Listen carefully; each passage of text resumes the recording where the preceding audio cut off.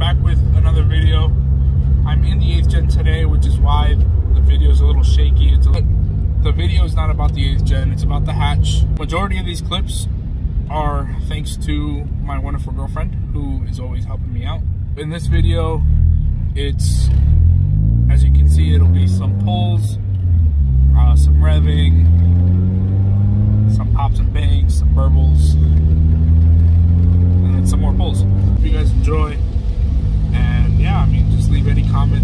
back down below.